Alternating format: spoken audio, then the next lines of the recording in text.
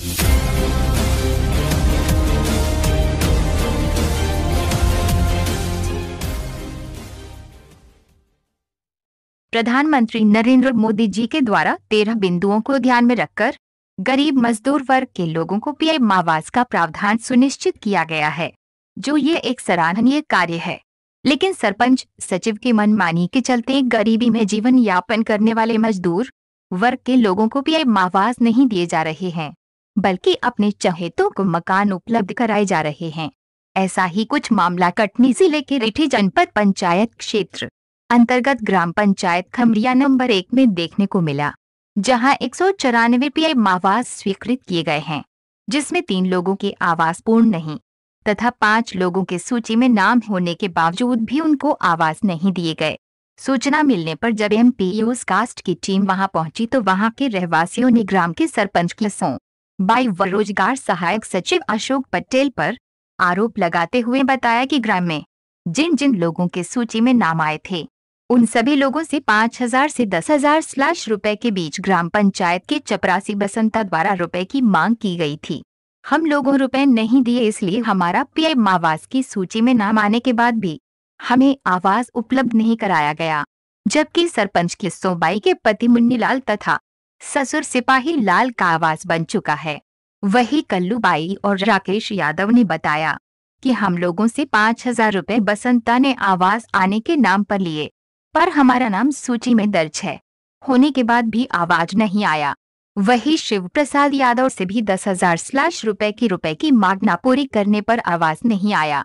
कुदरी निवासी सटाई राम से भी कस्त के दौरान ही हमसे पाँच हज़ार लिए गए थे। तब कहीं जाकर वो अपना मकान बना पाया है। इस संबंध में जब सचिव अशोक पटेल से बात की गई तो उन्होंने इस सवाल का कोई जवाब देना उचित नहीं समझा। रिठी संवाददाता हरिशंकर बैंक की रिपोर्ट। बसंता कौन है ये? चपरासी रहो जब हाँ तो किसके कहने पे उसने पैसा आपसे लिया है? अब अशोक का हो हुए के मंगा के लावे था कौन अशोक? ये जौन बनो है। से कट दी। अच्छा अच्छा। तो पैसे देने के बाद आपका मकान नहीं आया? हाँ हाँ बेटा तोर तक गिर गऊ है मकान मोरे धन लोक है नहीं है जगह धन लोक है नहीं है बेटा। तोरे घर है मोरे घर में धूर बांधा। क्या नाम है तुम्हारा? मोरो कल्लू बाई गड़ारी। कहाँ की रहने वाली हो? बेटा कुदरी की बोल रहे थे कि आपका आवास आ गया है तो आप घर बनाने की तैयारी करो। इ, इ, इसकी वजह से हम लोग गिरा दिए हैं घर। क्या नाम है आपका? सरस्वती पाल। और सरपंच कौन है? सरपंच किस्सो बाई सचिव? सचिव अशोक यादव। तो आपसे सचिव ने कहा था कि सरपंच ने कहा था कि मकान आ गया है सरपंच सचिव दोनों बोल रहे थे। क्या कह रहे थे? आपका मकान आ गया है। हम्म। हम सोचे जगह नहीं है तो इसी को गिराए और बनाए। कितने वर्ष पूर्व कहा था पहले कहा था आपसे? ये चौथी साल चल रही है। और मकान आने के बाद भी नहीं बन पाया? नहीं बना। अब सरपंच से बात करी सचिव से तो क्या कहते हैं वो? बोल रहे हैं आ जाएँगे इस महीने में नहीं उस महीने में आ जाएँगे अगले महीने में आ जाएँगे इस बार नहीं आए तो उस बार आ जाएँगे ये बोल रहे हैं। क्या नाम है आपका? सरस्वती पाल। आपका? गंगोत्री हमारा मकान प्रधानमंत्री आवास योजना में आया रहा और सरपंच और सचिव ने मिलके इसको कहीं से अपात्र करवा दिया। हम दो चार मरतबे इनके पास गए तो बोल रहे थे कि आपका मकान आया है पास हो जाएगा रीठी चले जाओ फिर बोले कटनी चले जाओ। दो चार मरतबा कलेक्ट्रेट गए हम लोग। वहाँ से भी कुछ नहीं हुआ हमारा। और एक दिन जनपद गए फिर वहाँ से भी कुछ नहीं हुआ। और हमारे यहाँ किस्तबाई का भी मकान आया सरपंच का। और उसके ससुर का भी आ गया। और हम पैसा नहीं था हमारे पास तो हम लोग पैसा नहीं दे पाए इसलिए हमारा मकान कैंसिल कर दिया कहीं से।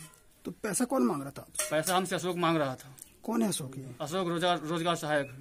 कितने पैसे की मांग कर दस हज़ार रुपये मांग रहा था।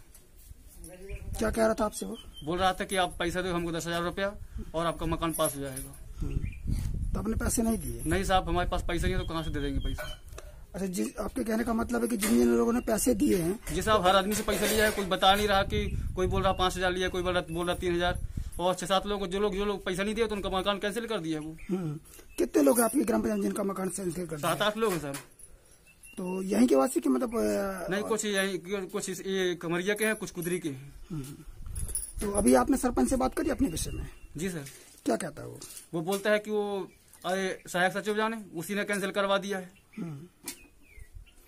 क्या नाम है आपका? शिव प्रसाद यादव। कहाँ के रहने वाले हो? खमरिया में। हाँ।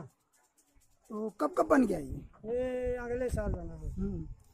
तो कुछ पैसे से दिए थे? क्या अरे पैसा गया खर्च पानी लिए थे जब कुछ। कितना लिया था? पाँच एक हज़ार। किसने लिया था? यही लिए थे क्या कहते अशोक। कौन है अशोक? ये ये है वहाँ खमरिया। खमरिया कौन है? सचिव। है वो। हाँ। तो क्या क्या के लिया गया था आपसे पैसा? कहे दिए उसको हम सबको निकलवा देंगे खर्चा दो। हम्म। तो आ जाएगा पैसा से निकलवा देंगे मकान के लिए। कितना दिया था पैसा आपने? इकट्ठे तो नहीं लिए थे ये पाँच एक हज़ार के हिसाब बने थे। हम्म। तो सभी लोगों से पैसा लिया गया क्या अब सबका नहीं बता सकी सर अब जे कहूँ जे जे जाए हूँ। हाँ। हाँ। मतलब आपने पैसा दिया था? हाँ। क्या नाम है आपका? काट लिए थे सताई। सताई। यहीं कुदरे के रहने वाले हो। तेरह बिंदु का परीक्षण होगा यदि तेरह बिंदु में वो नहीं आता है तेरह बिंदु के परीक्षण में नहीं आता है तो वो पात्र है। ऐसा कहीं कोई लिखित नहीं है कि सरपंच या पंच को नहीं दिया जाना। तो आपके संज्ञान में बात ये आई थी कि वहाँ पे सरपंच ने अपने पति और ससुर को आवंटित करवाया है मकान? कहाँ पर? खमरिया नंबर एक ग्राम पंचायत में।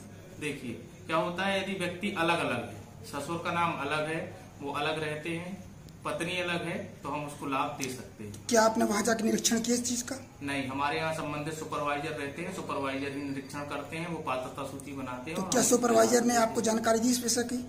सरपंचों को तो दिया जा रहा है माननीय जिला पंचायत महोदय के माध्यम से भी जब सरपंचों ने और पंचों ने नहीं बनाया तो धारा चालीस धारा बानवे हम लोगों ने शुरू किया और उनने अपना घर बनवाया कुम्हरवारा और बांधा में ऐसे प्रकरण है। लेकिन जब वहाँ पे महिला सरपंच ही अपने पति और ससुर को आवंटित करा रही है तो सरपंच को जाँच की तो वैसे कोई सवाल ही पैदा नहीं होता। यदि वो पात्रता परीक्षण रखता है तो उसको मिलेगा उसमें कोई डाउट नहीं है। तो आपने कोई जानकारी नहीं- जाँच वगैरह नहीं की इस विषय को लेकर के? जाँच हमारा संबंधित सुपरवाइजर करता है। हमको इस संबंध में किसी प्रकार का कोई ऐसा नहीं लगा है कि नहीं इनको दिया गया है क्या है। कौन है सुपरवाइजर आपके सुपरवाइजर पूर्व में नारायण पटेल थे अभी आरपी खरे। हैं। तो क्या उन्होंने आपको इस विषय में जानकारी दी कि खमरिया ग्राम पंचायत में ये चीज़ें हो रही है? नहीं सरपंच को दिए जाने का तो है ना विषय तो है वो। सरपंच को तो दिया जाता है। तो मतलब इसका मतलब है कि आपके संज्ञान में बात नहीं है कि वहाँ पे इस तरीके से आरोप- चल रहा है। किसी प्रकार का कोई आरोप की हमको किसी प्रकार